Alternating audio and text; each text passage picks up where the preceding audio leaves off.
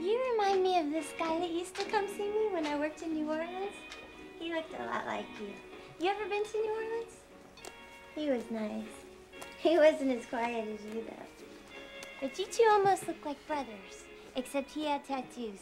I think that he was in the Navy. But, uh, no. And he used to come and see me every Friday or Saturday night. His name was Clarence. I had a lot of fun in New Orleans.